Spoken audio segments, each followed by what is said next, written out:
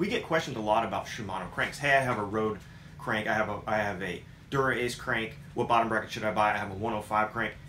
What matters is what standard it is. This is a HollowTech 2 crank standard. Now Shimano has been running this HollowTech 2 standard on their road and mountain bike cranks for about 15 years. They're real low end cranks, they're still like three piece square taper and all that. I'm not talking about those. I'm only talking about the HollowTech 2 style, which is going to be like Tiagra all the way up to Dura Ace and then XT, XTR, Deore, all that.